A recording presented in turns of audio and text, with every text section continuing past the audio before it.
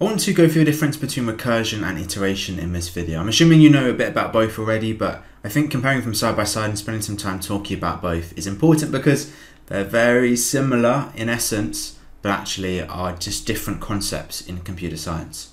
So there are different concepts. Um, recursion is where we are calling, where we've got a subroutine, which is calling itself, and so that subroutine is repeating in a sense whereas iterations where we're repeating a particular block of code. So on the surface they're both very similar, but they are different approaches to solving a problem. So one thing which is important to note is every recursive solution can be converted to an iterative solution and vice versa. So there are two approaches to solve the same problem.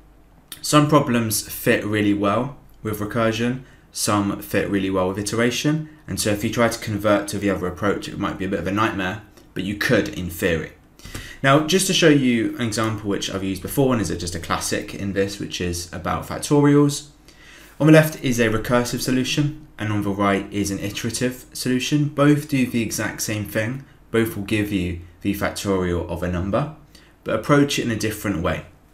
So as we as we run both bits of code, we are going to have repeats. The code is going to repeat, just the order is different. The actual repeat in the iterative version is just inside this for loop, whereas a repeat in the recursion is just for the fact that we are calling and then returning from different instances of the same subroutine. So it's not quite the same aspect of repetition, although the similarity is that we are repeating the same bits of code multiple times.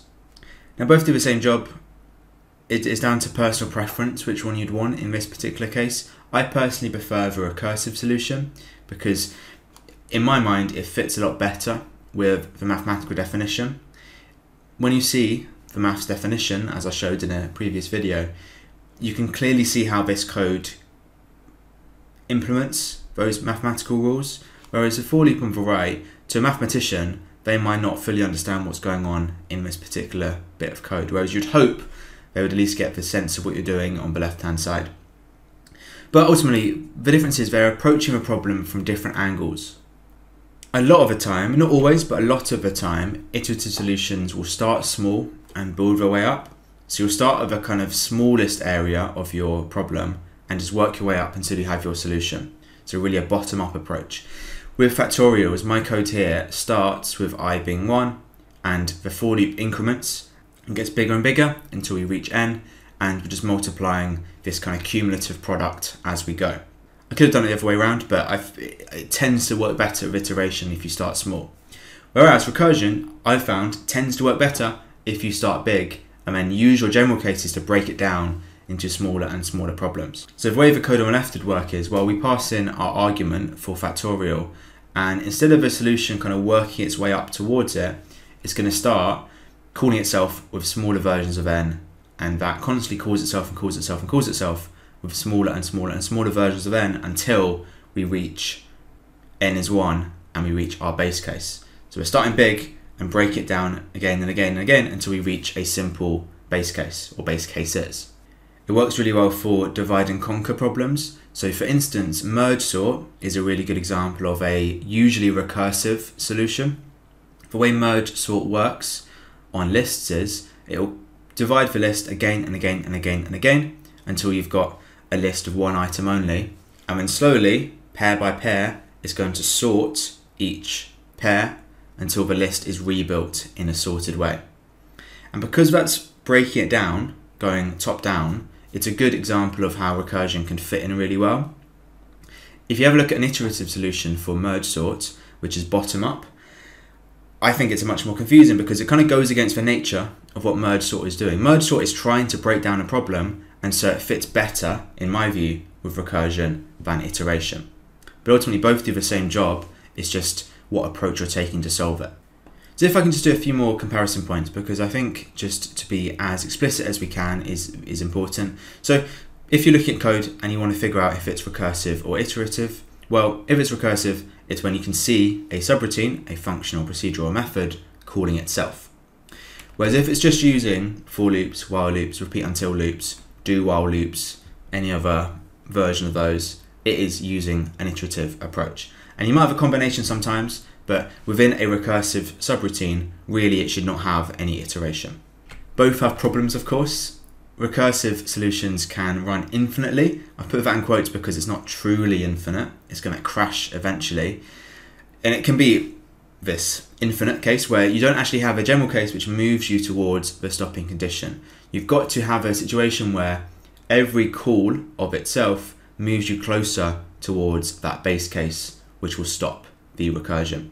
So it will be infinite if you haven't got a well-defined base case, but in reality it's going to crash, it's going to run out of space, you'll have a stack overflow where it just hasn't got memory to deal with all of these pending subroutine calls. And loops, as you'll well know, I'm sure, can also be infinite. Not for loops, but while and repeat until loops, which are indefinite, could be infinite. Again, I've used that in quotes because it's not truly infinite, of course. It's going to crash eventually or you're going to have to cancel it eventually. Um, it can be infinite if your condition never changes and if you don't use a construct like break, which ends it early. The difference being, I suppose, recursive is a bit more dangerous if it runs infinitely because it's going to crash and it can be quite a serious crash in, in certain cases. Whereas iteration, it's going to crash eventually, but most of the time it's just wasting your CPU. It's just doing stuff for no good reason. In terms of positives, recursive solutions can, and I would say are often, more concise and readable than iterative solutions, in particular if the problem lends itself to a divide and conquer approach. Something like merge sort fits really well with recursion, and so its solution is more concise than the iterative version.